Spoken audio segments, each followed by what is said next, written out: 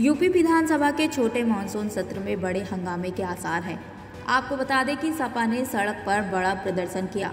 वहीं अखिलेश यादव ने पार्टी दफ्तर से पहले अपने विधायकों के साथ पैदल मार्च भी किया, मगर रास्ते में ही उन्हें पुलिस ने रोक दिया। लिहाजा वहीं बैठकर उन्होंने प्रदर्शन किया। आपको बता दें कि कांग्रेस ने भी पार्टी दफ्तर से विधानसभा तक पैदल मार्च किया।